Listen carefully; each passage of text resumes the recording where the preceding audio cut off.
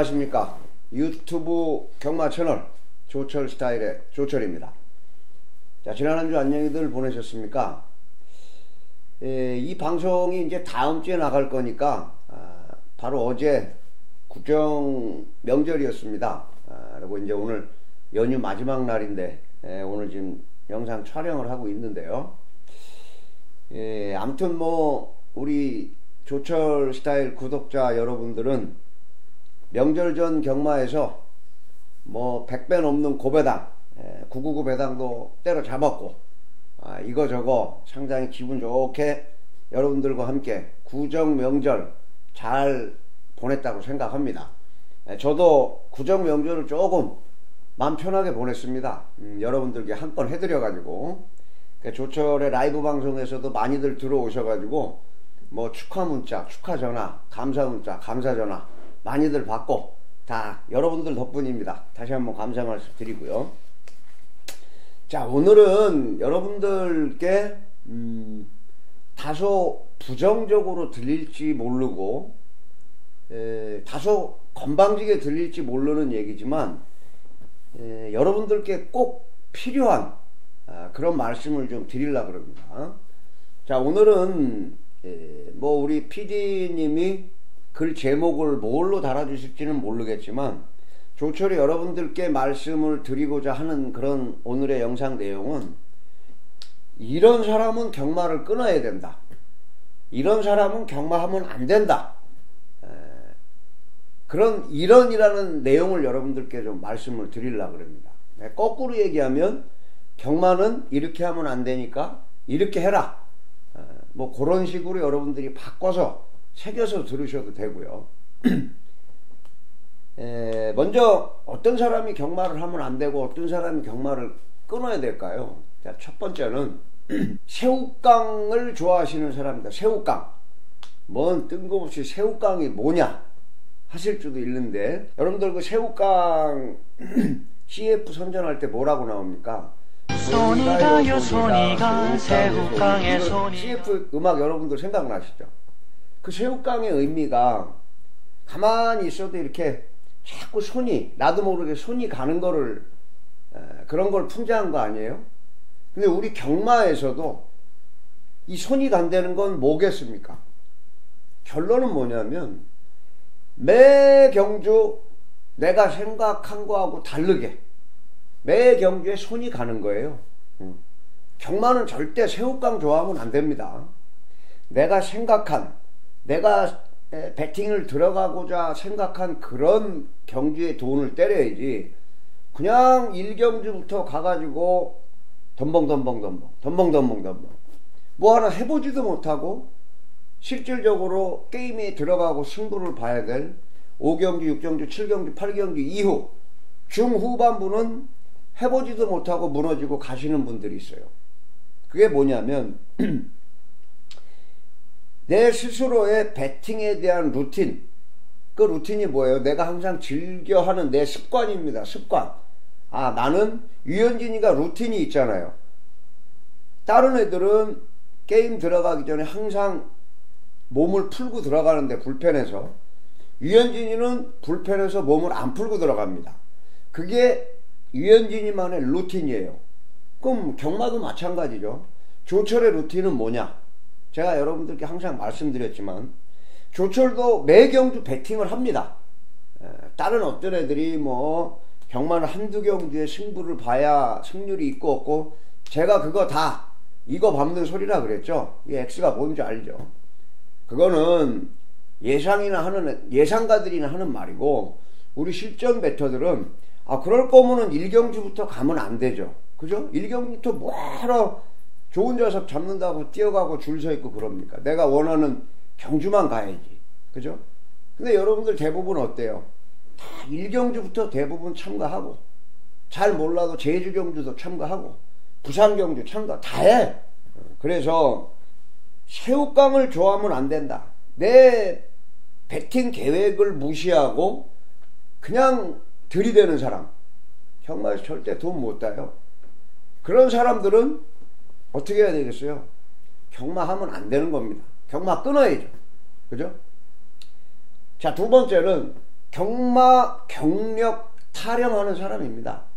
내 마력이 얼마고 내가 뚝섬 시대부터 했고 너희들보다 내가 경마 10년 선배, 20년 선배다 하는 분들 여러분들 주위에 보면 있죠. 야 경마는 소스야. 음. 나 예전에 기수 누구누구 조교사 누구누구 데리고 했었어. 데리고 하긴 뭘 데리고 해요. 맨날 눈탱이만 맞았지. 바람 잡는 놈들한테. 음? 그래도 경마장에 오래 다니다 보니까 들은 소리는 있고 뭐 등짝에 앉아서 채찍을 왼손으로 잡으면 가는 거고 오른손으로 잡으면 없는 거고 어? 엉덩이 들고 가면 가는 거고 엉덩이 앉아서 가면 없는 거 이런 쌍팔년도 얘기하는 사람 아직도 있습니다 그런 사람들이 돈 잃고 음, 남들 다 가르쳐 주듯이 말하면서 자기는 돈 잃고 CD기 앞에서 현금 서비스 받고 있고 경주 끝나면 고래고래 소리 지르고 말입니다. 이런 사람들 쌍팔년도 얘기하는 경마 경력 마력 늘어놓고 자랑하는 사람들 이런 사람들도 경마 끊어야 돼요. 지금까지 경마에서 죽은 돈이 얼마겠습니까? 이런 사람들도 경마하면 안 되는 거고. 자, 이게 세 번째, 또 요것도 또 중요한 겁니다. 경마는요, 조철의 영상이나 컨텐츠나 예상 방송에서 항상 강조하는 말이 있습니다. 내 주제를 알아라. 내 월 수입액, 셀러리맨들은 월급이 되겠죠. 자영업자들이 생각할 때는 내 한 달, 이득금, 이익금, 뭐 나가고 뭐 나가고 뭐 나가고 내 수입. 이 월 수입액에 맥시멈 20%를 초과하는 사람들은 혹은 그걸 넘어서 빚을 내서 경마하는 사람들은 경마에서 따겠어요?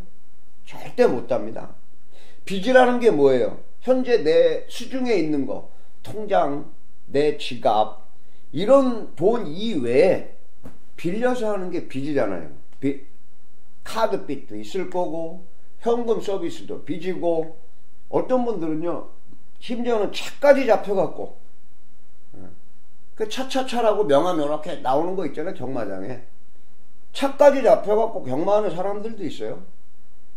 이런 빌린 자금이나 대출 형식의 자금으로 경마하는 사람들, 여러분들도 상식적으로 생각해 보세요. 그런 돈 갖고 경마에서 돈 따겠어요? 물론 어쩌다 한두 번 딸 수는 있어. 그런데 절대 그런 사람들은 돈에 경마에서 못 답니다. 그 사람들 특징이 내일 뭐가 어떻게 됐든 내일은 없어. 오늘 달리는 거야 그냥. 고 오늘 고야 달려. 내일은 내일이고 그래 놓고 고민은 경마 끝나고 하자. 경마 끝났는데 그건 고민 정도가 아니야. 머리 쥐어 짜매고 앉았고 이런 사람들. 계획이 없는 사람이야 계획이. 그런 사람들은요, 경마할 때 마음이 조급해요. 그런 돈으로 경마를 할수록 내가 보는 마번보다 더 무리한 마번으로 가게 돼 있어요. 예를 들어서 갈 때, 아, 나는 대끼리 마번에는 손 안 댈 거야. 적어도 10배, 20배는 돼야 내가 돈 때릴 거야. 이러고 맘먹고 가다가, 어, 1경주, 2경주, 3경주 하다가 돈을 잃었어. 예를 들어서 한 100만 원 가져갔는데 한 50만 원 잃었어. 그러면요, 한 6경주부터는 대끼리만 눈에 보여. 아, 요거 한 방 땅 때려갖고 본전 찾아야지. 그러면서 망가지는 거예요. 그 거꾸로 반대 경우도 있겠죠. 야, 이거 돈 잃다 보니까 10배 이하짜리는 눈에 보이지도 않아. 적어도 50배, 70배, 90배. 마음이 조급해지는 거야, 마음. 그런 마음으로, 그런 자금으로 경마를 하면요. 절대 못 다는 겁니다. 예, 조철이 단언코 말씀을 드리니까 꼭 명심을 하시고, 이런 사람들도 경마하면 안 되는 거고 경마 끊어야 됩니다. 자, 그 다음에 마지막으로 이거 여러분들이 많이 보시는 겁니다. 남 원망하는 사람들 경마하고 경마할 때 끝나고 내 탓이오가 아니고 니 탓이오 하는 사람들 많죠. 그죠? 경마 전날 예상가들 라이브 방송 UCC 예상글 텍스트 진짜로 공부 열심히 해. 내 나름대로 배팅 마번 다 정리하고 배팅 계획도 다 잡아갖고 경마장 갔는데 마지막 12경주 13경주 끝나고 경마장 문지방 딱 나설 때 돈 다 깨졌어.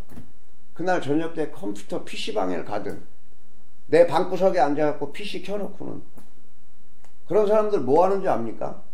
괜히 예상가들 밑에 가서 댓글에다가 엄한 악플 달아놓고 내 멘탈이 무너져서 내가 나를 지키질 못해서 깨진 경우가 더 많은데 예상가들 탓하는 사람들 여러분들이 각각 예상가들이 많은 예상가들이 요새 유튜브에서 방송 많이 하잖아요. 그 예상가들의 예상 마본이 다들 같아요. 인기 1, 2 빼놓고는 다 틀립니다. 복병마 찾는 거는 거의 예상가들이 대부분 다 틀려요. 그거를 여러분들은 메모를 다 해. 그게 조합이 제대로 된, 되냐? 그러면 여러분들이 그 예상가들 얘기를 뭐하러 들어요? 여러분들이 예상가야 그냥. 여러분들은 이 방송을 보고 어느 사이트에 가서 예상가들 텍스트 글을 보고 어느 예상가 예상 라이브를 보고 UCC를 보고 한다는 거는 여러분들은 경마 아직 초보고 내가 초보라고 얘기하고 있는 거야. 절대 고수들은요 예상가들 그런 거 거꾸로 역이용을 해요. 아 예상가 니네들 전부 1번 2번 봤지? 어 이거는 내 승부 경주야. 그래 니네들은 1번 2번 다 봐. 나는 3번이 대가리야. 이 정도로 자기 가 보는 말에 대한 확신이 있는 사람들이 고수예요. 예상가들보다 더 잘하는 사람들도 꽤 있습니다. 하지만 이 영상을 보고 있는 여러분들은 대부분 그 범죄에서 벗어나질 못하는 분들이에요. 나를 인정을 해야지. 아, 내가 모자르구나. 그거를 끝나고 나서 내가 무능해서 내가 잘못해서 내 눈이 사팔인 거를 인정을 안 하고 남들 탓하는 거야. 음. 예상과 원망이나 하고 발전이 있겠습니까? 발전 없습니다. 조철이 좀 에, 서운한 말이라고 들릴지라고 하더라도 여러분들이 인정할 건 인정해야 또 발전이 있는 겁니다. 그래서 이런 분들도 절대 경마하면 안 돼요. 경마 끊어야죠. 음. 제가 그 외에 경마한 지 얼마 안 된 초보분들이 그냥 아무 생각 없이 겁 없이 막 고액으로 하시는 분들도 제가 꽤 많이 봤어요. 수도 없이 많은 경우가 이 외에도 많지만 시간 관계상 오늘은 여기까지만 또 하기로 하고 제가 차후 영상에서 좀 더 디테일한 거 어, 여러분들께 주의사항 드릴 거 제가 또 연구해서 또 영상을 또 올릴, 올릴 테니까 오늘 주제가 저는 이런 사람 경마하면 안 된다예요. 제가 이런 영상 올리는 이유는 거꾸로 생각하면 경마는 아 이렇게 하면 안 되니까 조철이가 말한 거 빼고 아 그럼 이렇게 해야 되겠다. 이런 거를 여러분들이 캐치를 하시라고 이런 영상을 올리는 거니까 여러분들께 좀 도움이 됐으면 좋겠다. 이렇게 생각을 하면서 오늘 영상 마무리하고요. 에, 오늘 뭐 이 영상이 조금이라도 도움이 됐다. 아, 조철도 수고했다 생각되시면 구독. 자 이제 좀 있으면 5천명이에요. 5천명 빨리 돼서 3월 달에 얼마 안 남았습니다. 네, 조철이 팬미팅 한다 그랬죠? 조철 스타일 유튜브 조철 스타일. 아, 여러분들이 구독 많이들 눌러주시고 좋아요 알람 꼭 설정까지 부탁을 드리면서. 자 지금까지 유튜브 경마 채널 넘버원 조철 스타일 조철이었습니다. 감사합니다